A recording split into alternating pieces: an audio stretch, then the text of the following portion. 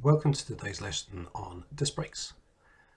Before we begin, please make sure you've downloaded and have access to the worksheets that we're going to be using.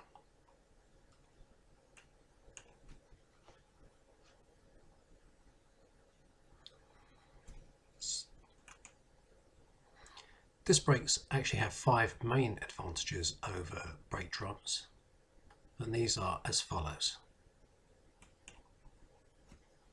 With brake discs, the actual friction surface, or the majority of the friction surface, is exposed to air, and that allows the heat to escape and radiate away from the disc much, much more effectively than it does on an enclosed brake drum. This gives much better resistance to brake fade, which is when the actual brake overheats and gets so hot that the friction surfaces will not actually grip on one another. Number two is that although the disc brake is not as powerful size for size as a drum brake and will require more effort to actually stop the car, it is actually far more progressive. You don't have the self-servo action interfering with that, giving you this spike in pressure that you get with drum brake. So it's much easier to, to modulate the brake with a disc brake. Number three, brake pads are self-adjusting and they don't need a built-in adjuster to do it. They do it just through use of the seals, which we're going to have a look at later. And something that's actually dear to most mechanics' heart is brake pads are much easier to replace. Number four, unlike with a brake drum, which as it gets hot, the drum expands and moves away from the brake shoes, brake discs as they expand actually move closer so you don't get an increase in brake pedal travel when the brake gets hot. The last one we have here is that the actual weight of the brake discs or disc brakes they're usually lighter than that of drum brakes which helps with unsprung mass and making it a smoother ride giving the suspension an easier time.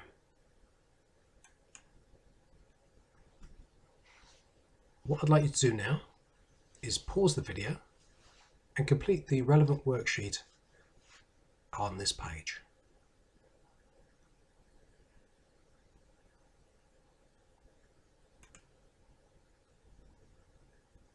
Now what I'd like you to do is watch How Disc Brakes Works by Autotech Labs on YouTube and there is a link to this video in your worksheets.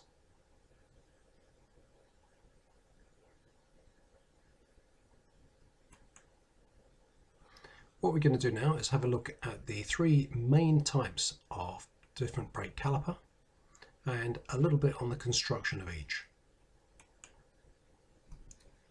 So the first one we're going to look at is the two piston caliper where you have two pistons, one for each brake pad operating on each side of the disc and each piston pushes in a brake pad towards the disc giving us our clamping action.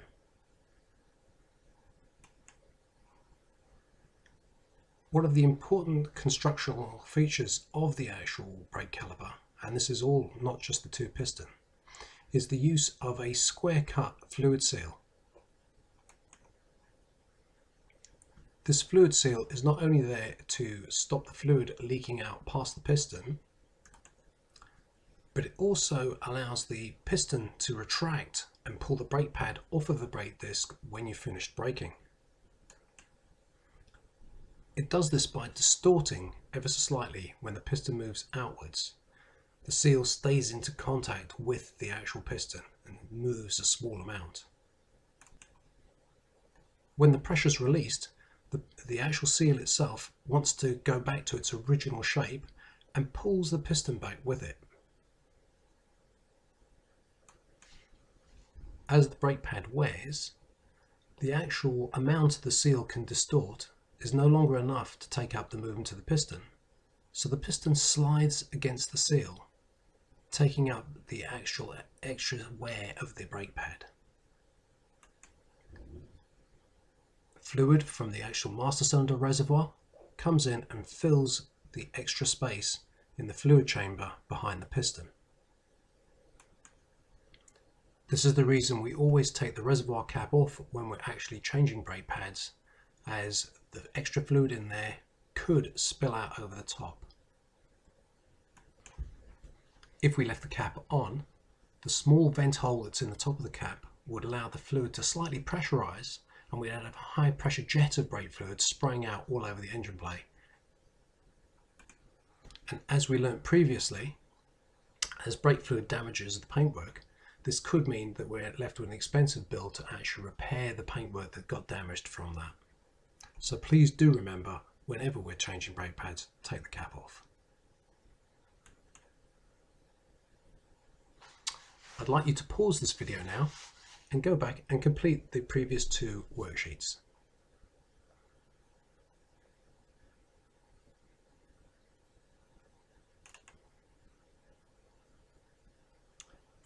In addition to the actual pressure seal, there is an outer dust seal that's actually fitted to brake caliper pistons and that's just to stop any water or any dust or dirt that could cause corrosion or seizure of the piston stops all that getting in there and keeps the piston moving freely. So despite the fact that we have two pistons here, in all likelihood you're going to only see one brake hose going down to this style of caliper. To get the fluid from one side of the caliper to the other, there's internal drillings. And those internal drillings also connect both of the actual piston fluid chambers to the bleed nipple so we can actually bleed air out of the caliper if we've gone into the system and allowed air to get in. So that's our first type of brake caliper, the two piston caliper. A variation on the two piston caliper is the multi-piston caliper. And this is the type of caliper that you might see on high performance vehicles or even on heavier vehicles as well. And the difference here is we have multiple pistons fitted to the actual brake caliper. We might have three, four, even up to eight piston cars fitted to each caliper on the car. More pistons means more surface area for the brake fluid to press against, which means more pressure on the brake pad, more clamping force of the brake pads against the brake disc. As these brake calipers are bigger, it's quite common, particularly on the performance variants, to actually see them made of an aluminium alloy to make them that much lighter and improve the unsprung weight.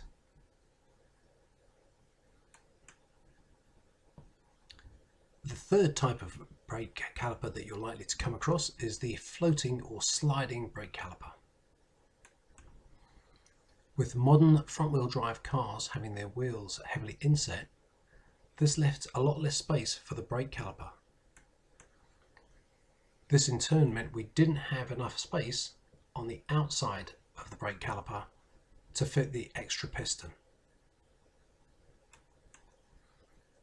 So floating or sliding calipers actually use a single piston are mounted in a sliding housing. The operation of these is slightly different to a two piston caliper. The fluid still enters the fluid chamber behind the piston and that still pushes the piston out against the brake pad which pinches against the brake disc. The clever bit here is that the fluid pressure also acts against the back of the chamber and the caliper housing itself.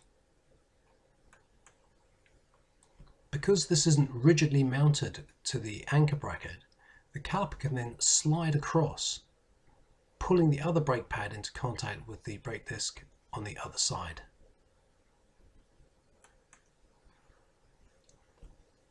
This double action of the actual brake caliper piston and the brake caliper body working in unison together means that the actual force of the brake, or the power of the brake if you like, actually is very very similar to a brake caliper with double the amount of pistons of a single piston floating or sliding caliper.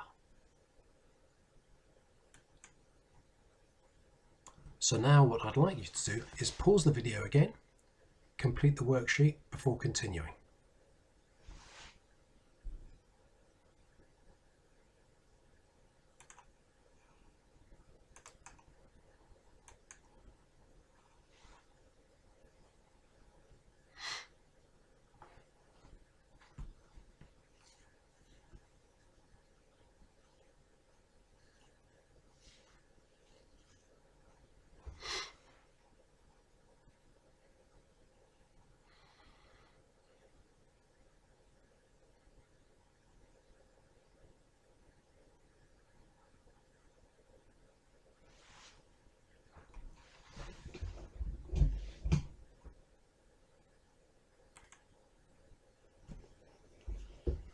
Our brake discs are generally manufactured from grey cast iron. That's a really good, easy material to machine. It's got good heat stability, which is why it's the material of choice. You might find on some higher performance vehicles that they're using ceramic or carbon fibre based discs, but it is still the case for the, for the vast majority of vehicles you're going to see them manufactured from cast iron. The brake disc itself is attached to the actual wheel hub in some fashion, typically bolted or quite commonly using the actual wheel bolts themselves, and will turn at wheel speed.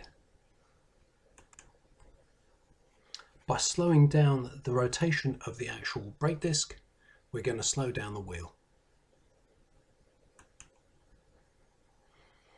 The other thing of note is there are two main different constructions of brake disc, either solid, as you can see in the image on the left hand side, or ventilated, as in the image on the right hand side, that allows airflow between the actual two friction surfaces to better cool the brake. Solid brake discs are still used in a number of applications if it's a small, light car, or indeed if the car's not particularly powerful. Uh, but as soon as we actually get up to a certain power or a certain vehicle weight, we're going to find that having the two sides of the friction surface attached means the amount of heat we can put into the brake means it'll overheat. It just can't cool fast enough. On ventilated discs, the two friction surfaces are separated and that allows air to get in between and allows for much faster cooling of the actual brake disc. The sectioned image on the right hand side shows the most common layout of this, just straight vanes. But other methods of actually joining the two surfaces are available, including curve vanes or the design that you see here on the left hand side. It isn't unusual to actually see both ventilated and solid discs fitted to the same vehicle. Ventilated discs fit to the front of the vehicle, solid discs fitted to the rear. And this is because under braking, we have far more braking force on the front of the wheels due to load transfer under braking. And the front brakes having to do around 70% of the work due to this load transfer means they're going to get much hotter, they're going to have to cope with much more heat, and that's the reason for fitting the ventilated disc onto those.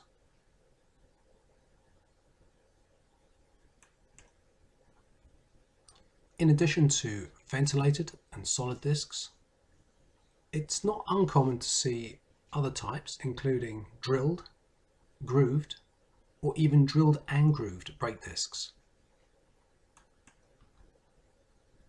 These are designed to improve braking performance as under hard braking, some of the actual brake pad itself begins to vaporize and turn into gas the grooves the, or the drillings actually give a, an escape route for that and prevents it pushing the brake pad against or away from the brake disc. It also allows for any brake dust to escape from the clamping surface and also helps deglaze the brake pads.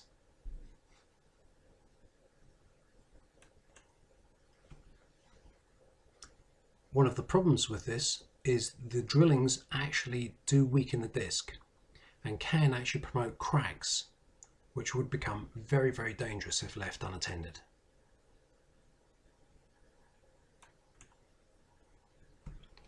Moving on to brake pads. The pads themselves are usually made by bonding a friction material to a steel backing plate. Now that steel backing plate is, is needed to give some sort of mechanical integrity to the brake pad itself as the piston is going to be pushing against that surface. The friction material isn't normally mechanically strong enough to cope with that action on its own, so we use the steel backing plate.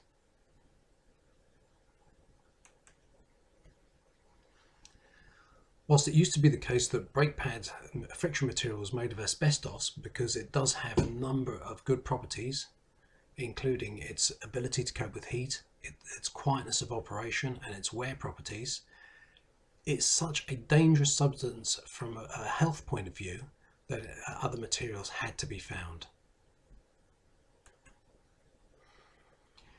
In general these days we're likely to find one of four different types of materials used. First of those is non-metallic and these are gentle on the discs but do produce quite a lot of brake dust and do have quite a short service life.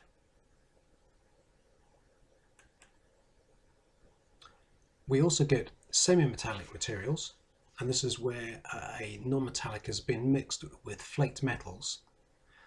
And these are a bit harder and more fade resistant uh, compared to the uh, non-metallic pad. But they do cause the brake disc itself to wear and they do have a lower coefficient of friction which is a problem in terms of brake uh, performance. You might sometimes see fully metallic materials advertised but these are really only for racing use. They, they are long lasting, they cope with heat very, very well, but they do wear the discs really fast and they tend to be very, very noisy. Not what you want on a road car.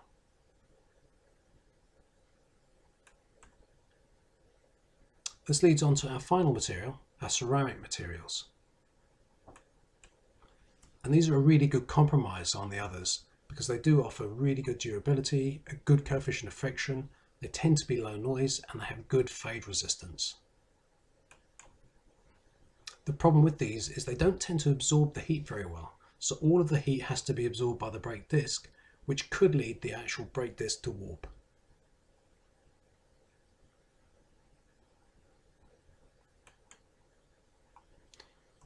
Whenever we rub two surfaces together, we create friction. The amount of friction can be expressed as a coefficient of friction, and that's mu. That's the funny little squiggly u that you see on the screen there. That coefficient of friction for most brake pads falls somewhere between 0.35 to 0.42 mu. But it can be as high as 0.5 or even as low as 0.3. And the problem with this is if we end up fitting a brake pad with a coefficient of friction of 0.3 to a car that was originally designed, or the braking system was originally designed for a coefficient of 0.5, it means our braking system just isn't going to perform properly. We're going to find the pedal pressure is much, much higher than it should be.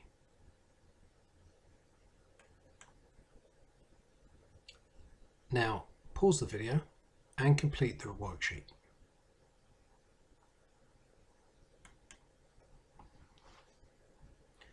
Now what I'd like you to do is watch the video clip Choose the Right Brake Pad by Donut Media and there is a link in your worksheets.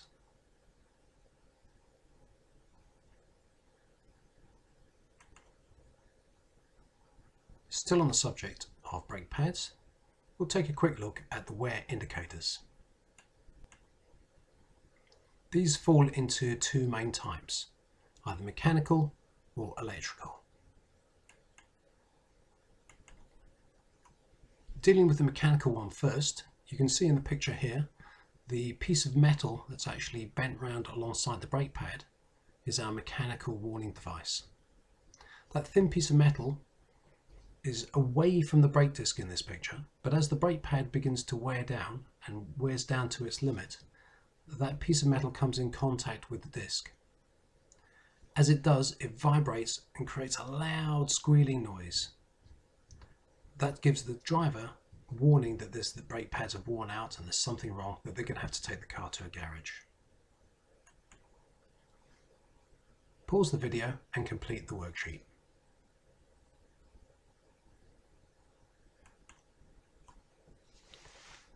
With the electrical type, what we've got is a soft metal sensor that's actually embedded into the brake pad itself, and that's connected to a warning light somewhere on the dashboard. When the pads wear down to their wear limit, that sensor touches the brake disc. And the light uses that sensor and the brake disc as an earth point, and that causes the light to come on on the dash.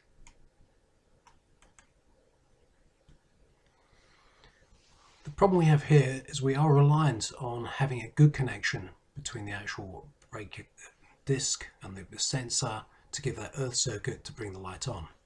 So manufacturers started using a two-wire sensor that actually relied on the sensor itself being rubbed through and breaking a circuit to bring the light on. The problem people, or the problem that, that we were seeing was uh, that some people would actually, rather than replacing their brake pads, actually bridge it out to bypass that. So these days it's much more likely to see a resistor somewhere in the system so that the light will come on if you try to bridge this out or it will come on if the actual sensor wire is broken.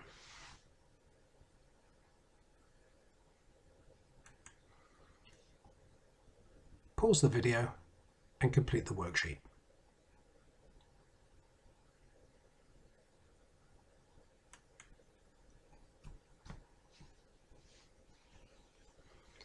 It's not uncommon for cars fitted with disc brakes front and rear to need a handbrake typically at the rear of the vehicle. Now this can be done just by fitting a small handbrake drum, so this is just operated by the handbrake itself, on the inside surface of the brake disc, as you can see in the picture here.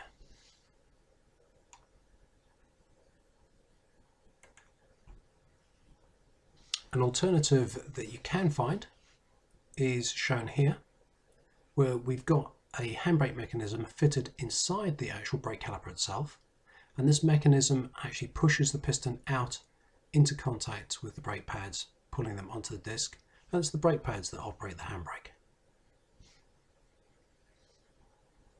Pause the video here and complete the worksheet. So that's us just about done. I've uploaded a copy of this presentation for you onto Teams so you can access it at any time.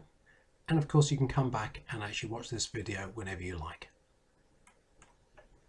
The final worksheet in your pack is the beginnings of a mind map and I strongly suggest that, that you actually make use of this and try to make your own notes keeping in mind all the rules of mind mapping including one word per branch